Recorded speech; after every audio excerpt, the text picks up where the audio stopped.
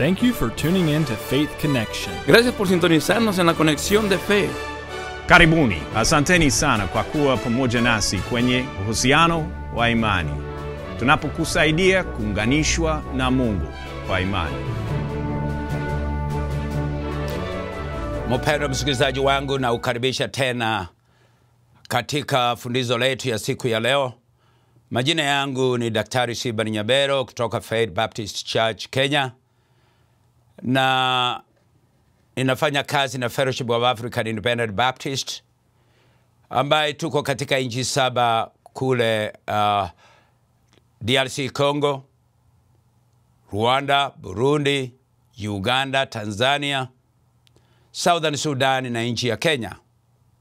Mungu ametupatia nafasi ya kufanya pamoja na makanisa elfu moja mia mbili katika nchi hizo saba na vile vile ametupa nafasi ya kwenda katika university zetu, mashule ya upili na mashule yetu ya primary na vile vile college, metro class colleges zetu, na ametupa nafasi ya kuingia hata supermarket zetu, kuingia katika magereza na vile vile kuwa na sinema, kuona watoto ambaye ni yatima na kufikia watu katika njia ya kuwapa vitabu vya kusoma habari za Mungu. Ninashukuru Mungu kwa nafasi hii ya kwamba ninaenda kunena pamoja na wewe mambo ambayo yatakao kutia moyo, ikiwa wewe ni Mkristo na ikiwa wewe sio Mkristo, vilevile vile yatakutia moyo na kukuleta karibu na Mungu. Ombi yangu ni ya kwamba Mungu atupatie nafasi hiyo wakati huu wa leo. Na leo nataka zungumza juu ya jambo ambaye mara nyingi tunalaumu vitu na mambo. Nataka zungumuza juu ya adui mkubwa katika maisha ya mwanadamu. Mara nyingi tumeona marafiki zetu kama maadui, majirani zetu kama maadui, na hata wale tunaofanya kazi pamoja, pengine hawatutakii mema, tumewaona kama maadui. Watu ambaye wanaotuwasia mabaya tumewaona kama maadui, na tumesahau kuna adui mmoja ambaye amekuregeza nyuma zaidi amekusongeza mbali sana, na leo nataka tusungumuze na tuone huyu adui ni nani. Basi adui huyu anaitwa uoga. Ikiwa waweza enda pamoja nami katika kitabu ya Timoteo e, wa, Timoteo wa pili mlango wake ni wa kwanza na tutaanza pale mstari wake wa sita.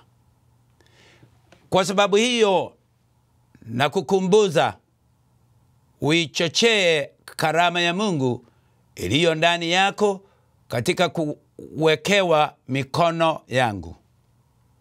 Paulo anajaribu kuzungumuza na kijana wake wa imani, mtu ambaye aliyemleta kwa Yesu. Na anaona huyu kijana kwa jina Timoteo ameokoka. Timoteo ni Mkristo, lakini amemtazama Timoteo na ameona kuna mambo yaliyo ndani ya Timoteo yanayozuia Timoteo kuendelea na mpangilio wake. Basi ndiye akasema, maana Mungu hakutupa roho ya uoga, bali ya nguvu na ya upendo na ya moyo wa kiasi. Basi usionee haya ushuhuda wa Bwana wetu, wala usinionee haya mimi mfungwa kwake, bali uvumilie mabaya pamoja nami kwa ajili ya Injili, kwa kadri ya nguvu ya Mungu. Wapendwa, nataka zungumuza juu ya uoga. Mungu alimtumia mtumizi wake aitwaye Paulo. Paulo kabla ya kuokoka alipinga Injili, akafanya mambo mengi mabaya, lakini siku moja akakutana na Mungu wake akiwa katika safari ya kwenda kuzuia Injili ya Yesu Kristo, kwenda kuua watumizi wa Mungu. Na walipokutana na Mungu, mabadiliko yakaingia katika maisha yake. Paulo akaokoka. Paulo akawa mtumizi supafu katika kazi ya Bwana. Hivyo mtu huyu ambaye anaonena pamoja nasi ni mtu aliyekuwa mbaya, ni mtu aliyebadilishwa na Mungu, ni mtu aliyekuwa na usomi mkubwa mno, ni mtu ambaye amepitia mambo mengi, amepitia mabaya, amekuja katika kuokolewa, ameingia katika utumizi na sasa anasaidia wengine kuingia katika utumishi. Ni mtu aliye na elimu ya kutosha, amesoma, is well educated, ni mtu amesoma vilivyo, hivyo ana usemi mkubwa mno. Katika hali yake alianza kufundiza watu na kuwaleta kwa Yesu, na akaanza tena kufundiza wengine ili waingie katika utumisi. Miongoni mwa watu hao ni kijana mmoja aitwaye Timotheo. Wakati Timotheo alipookoka, Paulo alikaa na yeye akiendelea kuchochea yeye ili aingie katika utumizi. Na wakati Timotheo anaingia katika utumizi, Paulo akamtazama jinsi vile utakavyotazama ikiwa wewe ni mzazi, utakavyotazama mtoto wako. Na alipotazama yeye, Roho wa Mungu akamfunulia Paulo, akaona ndani ya Timoteo. Basi alipoona ndani ya Timotheo, aliona kweli timoteo anataka kufanya kazi ya Mungu, lakini kuna vitu vilikuwa vikisuia timoteo na vitu hivyo Paulo aliviona.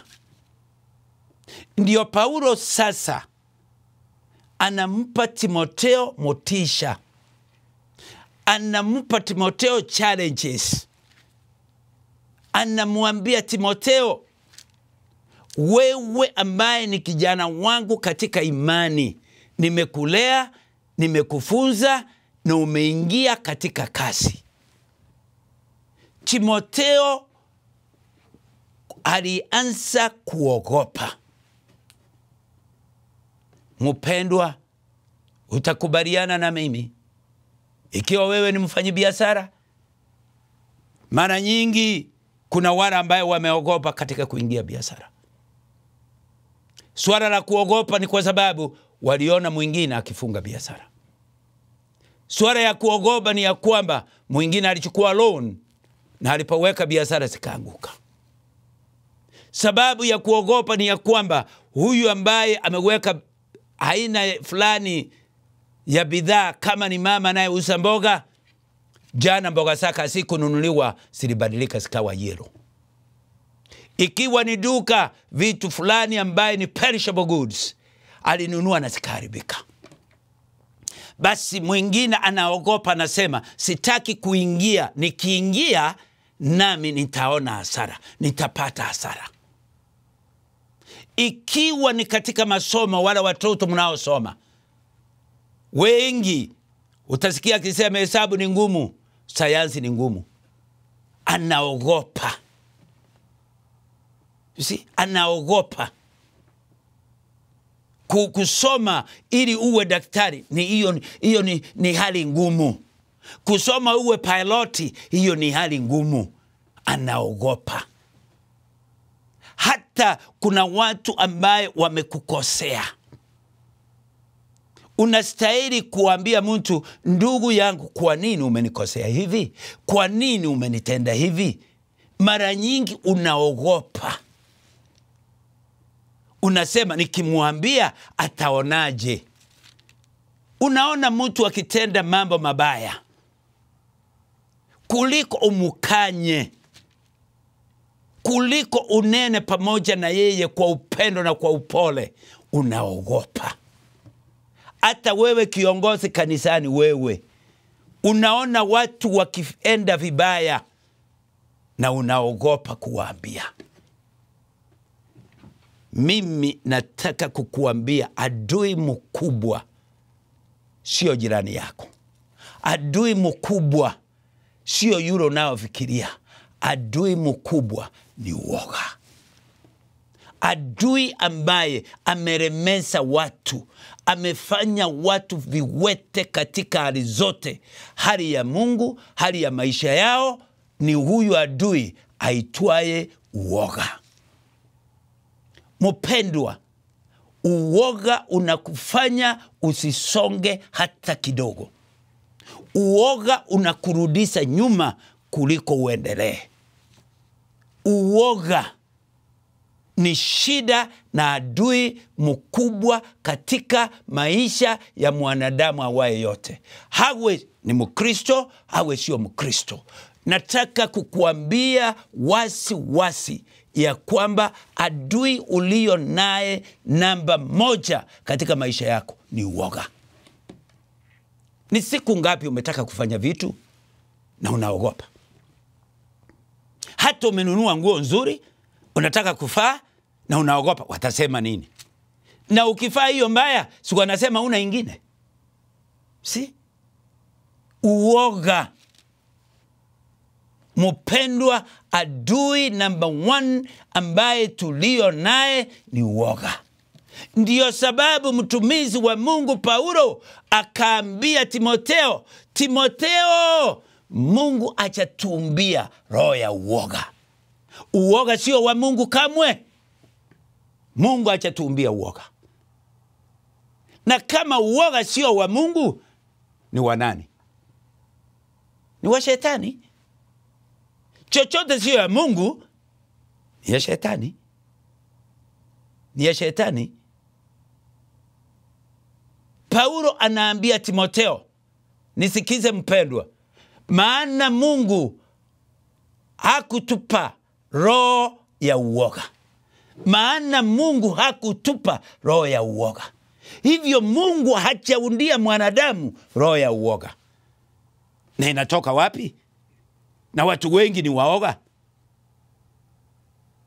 Uoga ni wa Shetani, na chochote cha Shetani haiwezi kufaulu. Ndugu yangu, dada yangu, ninakwambia bila shaka, katika mawazo na akili yangu na roho yangu yote, chochote cha, Shetani muda wake ni mfupi katika ulimwengu huu, haiwezi kufaulu kamwe. Ndiyo sababu wahoga hawafaulu, hawafaulu. Mungu ajatumbia roho ya uoga. Uoga ni kasi ya Shetani. Ndiyo sababu Timoteo aka, Paulo akaambia Timoteo, Timoteo, mimi ninakutangazia ya kwamba uoga sio sehemu yako, sio kazi ya Mungu. Ondoa uoga, ondoa uoga. Wewe msikilizaji wangu, wewe ondoa uoga kwa chochote ambayo unachofanya. Ikiwa ni biashara, ondoa uoga. Ikiwa ni masomo, ondoa uoga. Ikiwa ni chochote, ondoa uoga. Si hata kuna watu anaogopa kununua property kasehemu tu ili aishi, kama ni town au wapi, anasema siwezi, uoga na mjaa. Wengine amechukua loan, amenunua, mnafanya naye kazi, mnaishi pamoja, lakini uoge na kuambia aa, siwezi, ntalipaje? Na huyu mwingine analipaje? Analipaje huyu mwingine mwenzako? Unaogopa hata biashara, na huyu amefaulu. Kwa nini? unaangalia yule moja ambaye alianguka waangalia hawa kumi ambayo wamefaulu. Nataka ufungue macho yako ya kiroho kabisa, uangalie ni wangapi wameanguka na ni wangapi wamefaulu. Waliofaulu ni wengi kuliko walioanguka. Basi kwa nini uogope? Kwa nini uogope? Kwa sababu shetani amejua ukifaulu utawachana na yeye, utaandamana pamoja na Mungu. Mungu hajatuumbia roho ya uoga. Uoga umetitimiza kazi zote. Watu ambaye wameishi na uoga wameshindwa kuendelea. Watu watasemaje? Watu watanionaje? Ni lini hawakusema? Ni lini hawakukuona? Si hata wamesema unafaa hiyo nguo peke yake kila wakati ukienda kanisani au ukienda safari, si wamesema? Kwa nini unaogopa kununua ingine? Ati watauliza ulitoa wapi pesa? Ati watakuona unazo? Si wanajua unazo? Wanajua, si hata wajui, wanajua unazo, lakini umejaa na uoga hata kuweka watoto wako kwa mashule mazuri na una uwezo, unaogopa. Unasema watu wataniona kana kwamba ni naye. Hata kuishi vizuri unaogopa, unaogopa. Uoga ni adui mubaya mno. Mungu ajatumbia roho ya uoga. Wapendwa, kitu ambaye kimerudiza watu nyuma miaka nenda miaka rudi ni uoga. Ndiyo sababu Paulo akamwambia Timoteo, he Timoteo, kuna yule ambaye ni muumba wako na yeye ni Mungu, anaishi milele, alikuumba na ukaumbika, kwa sababu Mungu alipoumba mwanadamu alisema mzuri, mzuri sana. Good very good. Na yule ambaye aliyekuumba na akaridhika amekuumba bora hajakuumbia roho ya uoga. Kwa nini umeruhusu hii roho ya uoga? Nataka wewe msikilizaji wangu tazama ni vitu vingapi ungefanya lakini ukaogopa. Ungekuwa wapi sasa kama si ule uoga? Hata miongoni mwenu kuna wale wangeingia katika utumizi mkaogopa ya kwamba ukasema sasa nikiingia kuhubiri sasa nikiwa dikon sasa nikiwa fulani katika kanisa nikiwa samasi ni itakuwaje? Watu watanionaje? Watu watanisemaje? He uoga sio sehemu ya mungu. Ondoa uoga. Nafanya vile mungu anavyotaka ufanye. Mungu hajakuumbia roho ya uoga. Mungu ajaumba hiyo hiyo siyo sehemu ya mungu. Uoga umekurudisha nyuma tangu uingie ndani yako hiyo uoga. Na paulo aliponenezwa na roho mtakatifu wa mungu ndio akaencourage timoteo akamwambia mungu hajakuumbia uoga wewe. Timoteo hiyo uoga ambayo inataka ingia ndani yako ondoa. Hiyo siyo sehemu ya mungu na niko hapa kukuambia e, mpendwa msikilizaji wangu ondoa hiyo uoga. Ondoa ondoa. Ondoa. Ondoa kabisa. Kwa sababu sio sehemu ya mungu. Je mungu anataka uwe kifipi bari ya nguvu na upendo na ya moyo kiasi. Mungu amekuundia roho ya nguvu je si ni furaha? Ukiitwa mtu ya nguvu mtu ya uwezo. Mungu amekuundia roho ya nguvu. Roho ya nguvu. Roho ya nguvu ambaye itakunemeza utende mambo makubwa tofauti na watu wote ambao wamjui yeye. Mungu amekuumbia roho ya nguvu. Ninafurahi nikicheza na watoto pale watoto wangu au nikipata wachukuu pale nikimwambia mmoja, wewe ni kijana ya nguvu, ninaona kanacheza kanafurahi kwa sababu anaonekana ni mtu ya nguvu. Endo ambie mtu wewe ni mtu dhaifu, wewe uwezi, basi mtu anakunjana kabisa. Tasema Mungu amekuundia roho ya nguvu. Mungu amekuundia roho ya nguvu, roho ya kutenda mambo makubwa. Mungu amekuundia roho hiyo, sio ya nguvu peke yake, amekuundia roho ya upendo, ili umupende yeye Mungu na upende watu na upende utumizi wake. Mungu acha kuundia roho ya nguvu peke yake, amekuundia roho ya upendo. Je, unapenda wenzako? Na ikiwa kweli unapenda wenzako, lazima uwaambie Yesu anawapenda, kwa sababu upendo ni Yesu. Sijaona upendo mkubwa kama wa Yesu Kristo kutoka mbinguni kuja kuniokoa mimi mwenye dhambi. Huu ni upendo unaopita fahamu zote za mwanadamu. Huu Mungu amekuundia upendo ili ukanena upendo wake kwa watu wengine. Ni wangapi unaoambia upendo wa Yesu? Je, unapenda watu kweli? Au wewe ni yule ukiona mtu kila mtu ni mbaya, ni wewe peke yako mzuri? Kuna aina aina hiyo ya watu, kunao kunao, mtakubaliana na mimi. Kama hajasema kitu, hiyo kitu sio mzuri. Akisema ndiye inakuwa mzuri. Yeye peke yake ndiyo anajua kusema, yeye peke yake ndi anajua yote, yeye peke yake ndio mzuri. Ingine yote hata akipata mmepanga mpango mpaka mmefika hapa, anaangalia sema, hapana, hii hapana, hapana, hapana, yote anaondoa na analeta yake.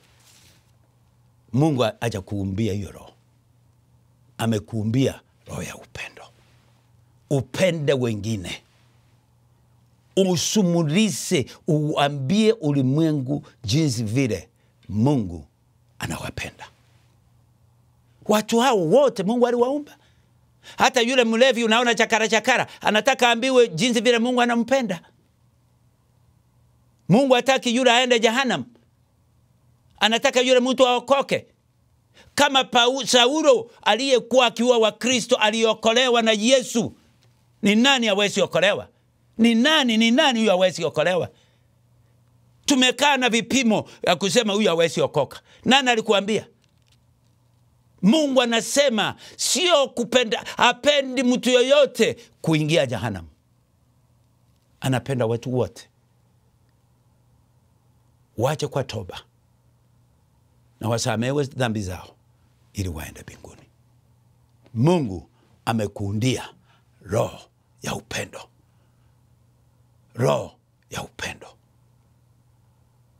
sio upendo peke yake. Amekuundia roho ya nguvu amekuundia roho ya upendo, na sio upendo peke yake, amekuundia roho kiasi. Maana ya kiasi ni roho ambaye kwa kizungu tunasema sound mind. Ni roho ambaye waweza kutofautisha mabaya na mazuri. Ukiwa na hiyo kitu naita moyo wa kiasi, sound mind,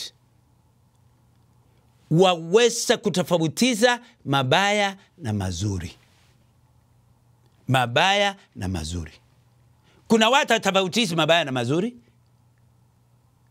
Utakubaliana na mimi, kuna watu ambayo unapita mahali anatukana matuzi mpaka unaangalia chini unasema ui kweli huyu anajua kila anasema, anaona watu hapa kweli. Ni nini hii? Huyu hana roho wa kiasi, hana ile kitu wazungu anasema sound mind. Kwake kila kitu ni sawa. Mungu atakuumbia roho ambaye kila kitu ni sawa. Mungu amekuundia roho ya kutofautiza mabaya na mazuri. Hivyo ndivyo Mungu amekuundia. lakini ukikataa kuishi na ndani yake basi unakuwa wazi hata ukisema chochote sio kitu kwako matuzi ile kubwa kubwa you know abuses, sio kitu kwako unprintable words. Ile, man, ile watu wanafunga macho wa- ukisema sio kitu kwako. Kwa sababu huna hiyo kitu tunaita sound mind. Roho wa kiasi. Mungu amekundia roho wa kiasi. Roho wa kutambua mabaya na mazuri ndugu yangu na dada yangu. Roho wa kujua hii sio mzuri kutenda hii ni mzuri kutenda hii ni dhambi hii dhambi hiyo ndiyo roho mungu amekundia. nataka kukuomba ee msikilizaji wangu kwanzia wakati huu ondoa roho ya uoga hiyo si ya mungu kabisa hiyo si ya mungu ondoa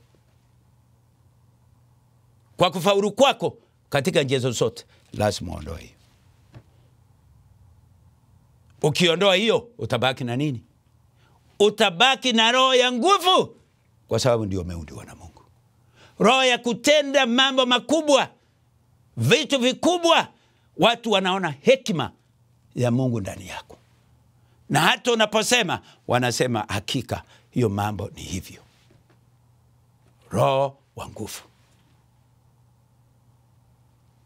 Roho wa upendo. Penda waambie habari na njia ya kwenda mbinguni. Waonyesha upendo wa yesu kristo. Wakaribishe katika kanisani mwenu. Katika ibara zote zinazohubiri yesu kama bwana na mwokozi wa maisha yao.